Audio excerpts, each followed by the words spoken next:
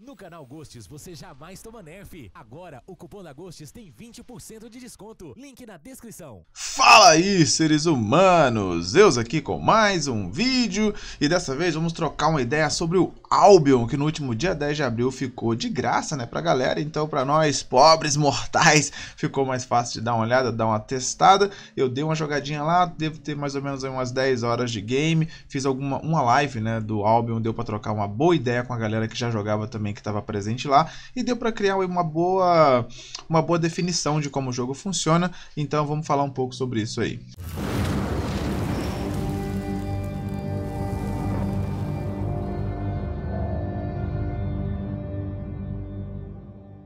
Para começo de conversa, eu acho que a primeira barreira que você tem que vencer aí com relação ao Albion é o formato da câmera, né, que nós já conhecemos, que é o isométrico, que é aquela câmera que fica fixa numa posição e você não consegue girar ela em nenhuma instância. A imagem que você está vendo, ela vai ficar naquele ângulo o tempo inteiro. O outro lance é que o combate ele é baseado no point to click, né? Você tem que clicar para andar, clicar para mirar, clicar com tudo. Basicamente você vai utilizar bastante o mouse para se movimentar, algo comum aí para quem está familiarizado já com Path of Exile é, Diablo ou até mesmo o LoL. Se você passar por essa barreira aí da câmera isométrica e o combate de clicar para andar, é bem provável que o que eu vou te dizer agora vai te agradar bastante. Um outro elemento muito positivo do Albion é essa pegada sandbox que ele tem. Apesar dele não possuir o elemento que eu acho que é o mais importante né, para um jogo sandbox, que é a possibilidade do, do jogador né, mudar o relevo né, como um todo, tipo Minecraft, né, onde você pode cavar buracos, construir, é, construir não, né, mas fazer uma montanha de fato, destruir uma montanha, você praticamente tem domínio sobre o relevo. Né? Eu acho que essa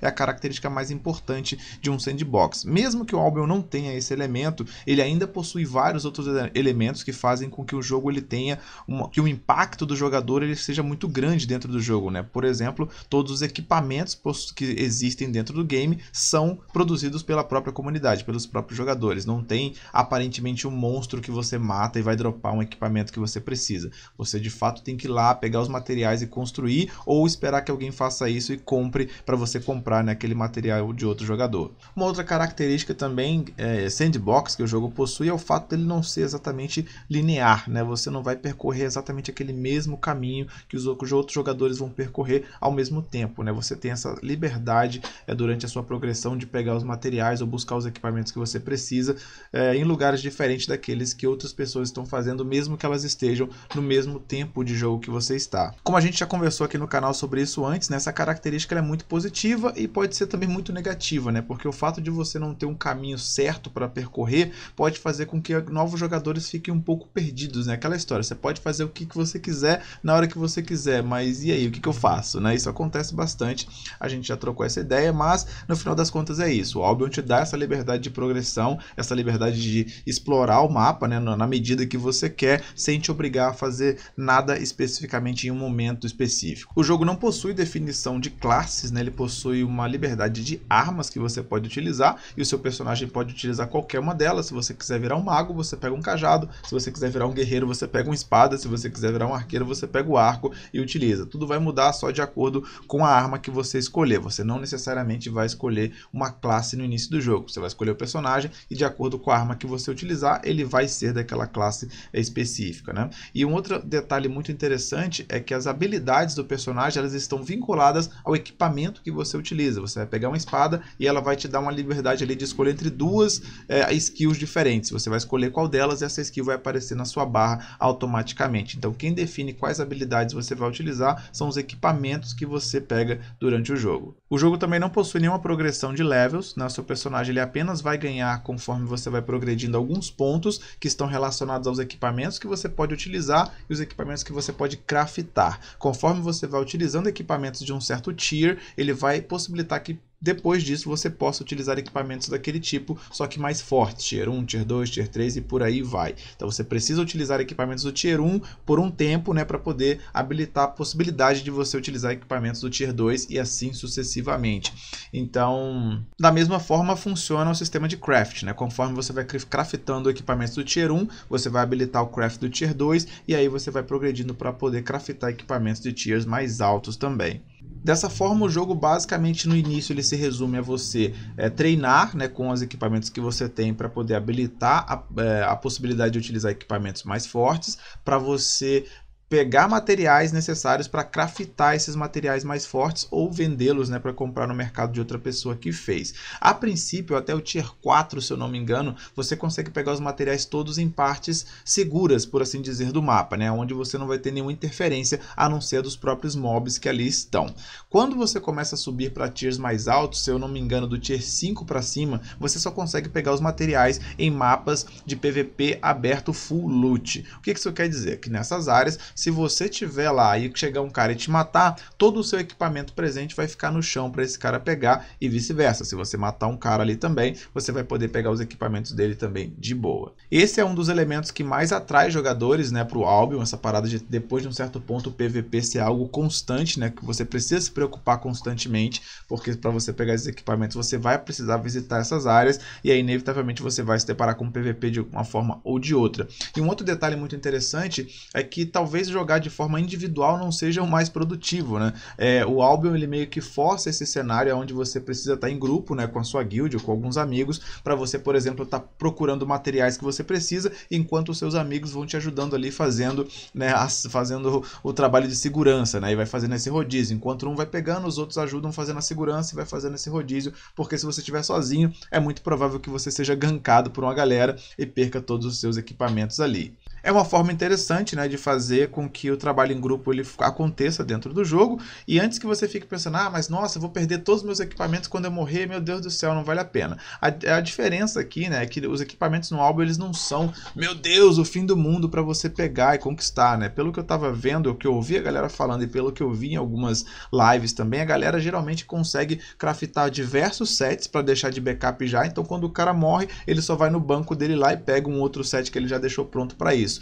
Então acho que o conceito do jogo é exatamente esse. Você, como você não tem esse absurdo de RNG, onde você precisa ficar esperando ali matar um bicho para poder ter a sorte de dropar uma parada, tudo que você precisa fazer é continuar garimpando materiais. Você crafta vários peitos, vários, várias luvas, várias botas, várias armas e deixa aquilo guardado para quando você morrer você simplesmente pegar outra e utilizar. O lance é que não parece que é o fim do mundo para você conquistar equipamentos assim razoáveis, né, para você entrar em combate. E sinceramente, pelo que eu ouvi, pelo que eu li, não parece nada ruim, parece realmente muito interessante nessa parada de você trabalhar com a conquista de materiais desse, dessa forma, que é uma forma simples, mas muito realista, né? De você vai lá, você pega os materiais, você pega a madeira, você pega o minério e pega né, o couro que você precisa, você fabrica os itens que você vai utilizar e beleza. Se você morreu, realmente o cara pode ali no seu corpo pegar os materiais, mas você tem guardado de novo lá, você pode reutilizar. É uma forma interessante de forçar o, o, a interação entre os grupos, né, entre os amigos para fazer coisas. É uma forma interessante de manter o PVP ativo né, o tempo todo,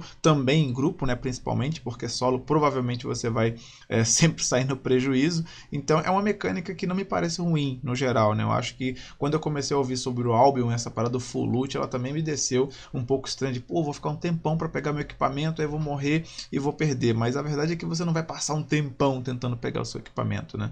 Então não é bem assim. Com relação às dungeons do jogo, eu não tive muito tempo ainda de experienciar isso, mas pelo que eu pude perceber, né, essa é uma percepção assim meio distante, as dungeons elas ficam espalhadas pelo mapa, você vê algumas portas brilhantes, assim, alguns portais, e você pode entrar nessas dungeons, mas o que eu entendi é que elas não são instanciadas, você entra lá e meio que qualquer pessoa pode entrar junto com você. Eu imagino até que dentro dessas dungeons o PVP possa acontecer ali livremente, se tiver uma guild num GVG aberto ou de PK, talvez as pessoas possam até se tampar na porrada dentro das próprias dungeons para fazer primeiro ali. Mas a impressão que eu tive é que as dungeons elas não são instanciadas, é um lugar só e todo mundo entra ali para fazer, seja lá o que tiver para fazer. Eu não sei ainda como é, como é a questão de mecânicas, de chefes e tal. A primeira que eu entrei estava rolando já de ter um APT lá fazendo as coisas, os mobs eram extremamente fortes, né? então eu morri assim quase que instantaneamente, mas eles já estavam lá fazendo e eu entrei podia ter atrapalhado eles, por exemplo, se eu tivesse entrado com outra PT, né? Então a gente tem esse conteúdo de grupo, porque deu para ver que os mobs eles são realmente bem fortes, né? então sozinho parece bem complicado de fazer e parece que pode ter um grupo interagindo com o outro lá dentro, né, ao mesmo tempo na mesma dungeon. Eu não sei se essa percepção distante de fato descreve como as dungeons funcionam, mas eu creio que eu vou precisar jogar mais um pouco, experienciar mais um pouco, né, para saber exatamente qual é a mecânica, porque parece ser um pouquinho diferente do convencional também. Ainda nesse contexto de grupos, né, a gente também tem GVGs, eu não fiz também, mas eu vi, né, vídeos na, no YouTube que mostram, né, guilds estampando na porrada, parece que existe um contexto de guerras de território, né, para que guilds conquistem certos territórios e parece que as guilds são beneficiadas também com os lucros que são gerados nesses territórios de itens que são craftados, itens que são vendidos. Eu também não sei exatamente a mecânica, mas existe um benefício em você conquistar territórios, existe, né, a guerra também ali de guild contra guild também. Agora, um elemento que eu não posso deixar de falar é a loja de cash do jogo. Primeiramente, você tem ali o acesso ao Premium, né, que é aquele VIP de 30 dias que todo jogo tem, normal, que dá diversos benefícios, mas os benefícios que esse Premium dá nem são o mais importante. O mais importante é que você consegue comprar esse Premium diretamente com o dinheiro do jogo. Quando você, vai, quando você abre né, a loja de cash ali, você tem a opção de comprar o Premium com o Gold, que é o cash do jogo em si, que você compra com dinheiro real, né, ou você pode simplesmente simplesmente comprar com o Silver, que é a moeda que você dropa no próprio jogo. Agora, eu estou falando disso é diretamente com o jogo, eu estou falando sem nenhuma interação com nenhum jogador externo. Você vai lá no, no próprio painel do jogo e vai comprar o Premium com o Silver que você dropa jogando. Isso, cara, é simplesmente sensacional. E para melhorar a situação, você pode não só comprar o item em si que você está querendo, no caso VIP com Gold, mas você pode comprar o gold em si, o cash com o silver que você dropa do jogo. Existe meio que um leilão é, de gold, né, do cash, onde tem uma, uma cotação, oscilação lá do valor, por exemplo. Hoje o valor do gold, um de gold, né, que é um de cash, está valendo é, um 1.500 silver, por exemplo. Você vai lá e compra quantos você quiser. Então existe lá uma oscilação, tem um gráficozinho mostrando quanto que subiu, quanto que desceu, e você pode comprar o cash do jogo com o silver que você tem. Isso é simplesmente bizarro, assim. para mim, né, que eu que jogo Black Desert, eu fiquei até bugado quando eu vi isso. Eu sei que, que o Albion não é o único que faz isso, mas, sinceramente, ver isso num jogo novo, assim, sendo lançado, é realmente é muito legal, cara. É muito maneiro e é um ponto super positivo para o jogo que ele dê esse acesso, né, para o jogador ao item de cash diretamente é, com o Silver que você farma no jogo.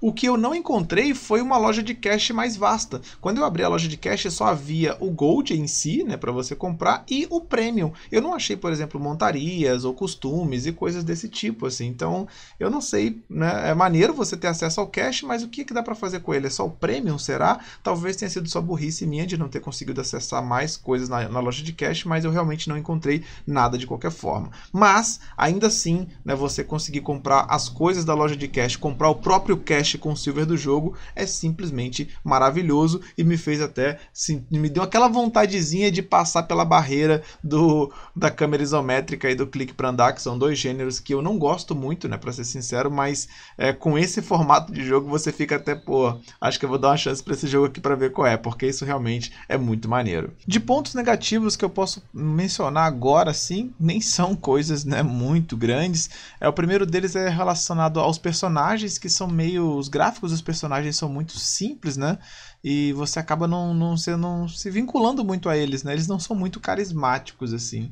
Então isso às vezes faz diferença, né? A galera gosta em MMORPG de personalizar o personagem, de mudar a cara ali e tal. Isso seria um bom elemento.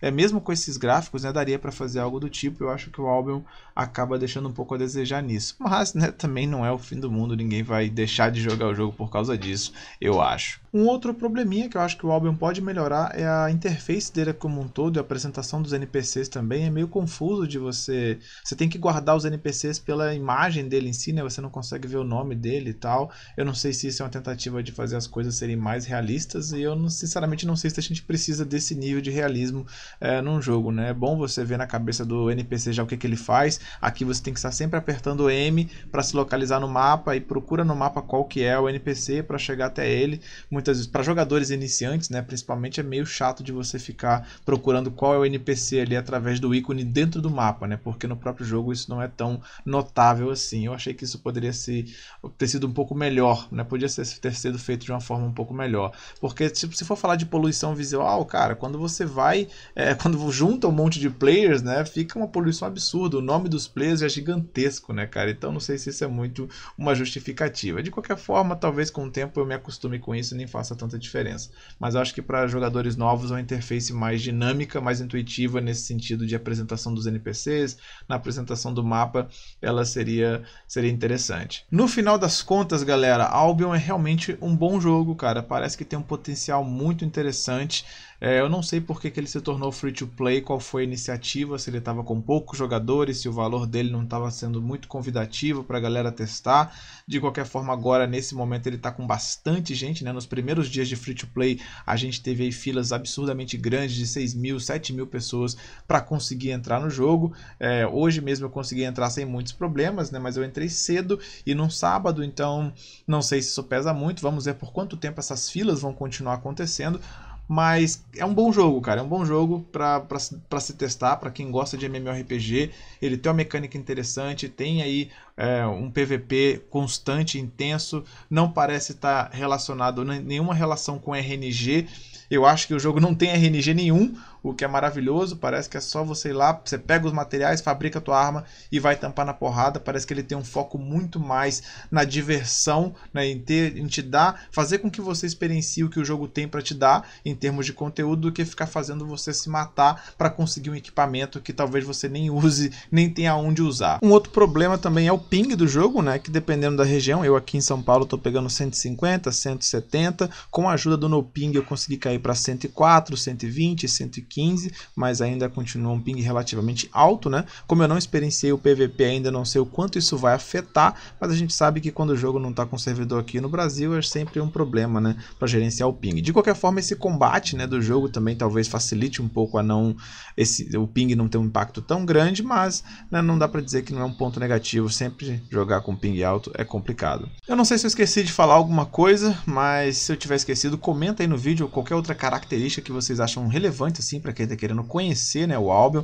talvez coisas que eu tenha deixado passar, que eu dei uma olhada e dei uma explorada para fazer outro vídeo depois, comentem aí. A minha opinião final é que o álbum realmente é uma opção interessante para quem está procurando um MMO, que conseguiu, né, cara, fazer isso. Ele consegue oferecer conteúdo em grupo, ele consegue oferecer PVP, ele consegue te dar ali os recursos de cash sem ser pay to win, ele consegue é, te livrar do RNG, pelo menos até então eu não vi RNG, eu não sei se tem necessidade de você encantar equipamentos em algum momento, mas até então parece que o RNG no jogo é zero também, então é meio que aquele sonho, né? Para mim, de fato, só faltou um combate action e uma câmera 3D, de fato, para ele ser ó, ali o top da balada. Eu vou, o fato da loja de cash ser como ela é me incentivou a jogar um pouco mais do jogo, mas realmente para mim assim faltou o combate action, né, que seria assim o ideal para eu falar que o Albion é o santo graal aí do momento. Mas de qualquer forma, como eu disse no início do vídeo, se você não tem problema com esses dois elementos, eu acho que o Albion realmente é uma opção muito interessante aí, tá free to play, tá na Steam, não tem por que você não dar uma testada lá. Então comente aí, você que testou, né, o Albion, o que que você achou, qual tá sendo a sua experiência, se tem mais algum problema que eu não tenha visto também. Eu tô procurando um pouco pouco mais informações sobre o jogo da comunidade, para de repente fazer outros vídeos aí trocando uma ideia sobre. Eu continuo jogando ainda também para identificar novos elementos e talvez eu vou dizer que é bem provável que a gente tenha mais vídeos de álbum aqui no canal no futuro. Vamos ver qual, qual é né, que vai ser aí. Não deixe de me seguir nas redes sociais, principalmente o Instagram, estou bem mais ativo lá agora, o link está aí na descrição. E é isso, quem puder curtir e compartilhar no canal ajuda demais, como sempre, e essa parada. Aquele abraço e fui!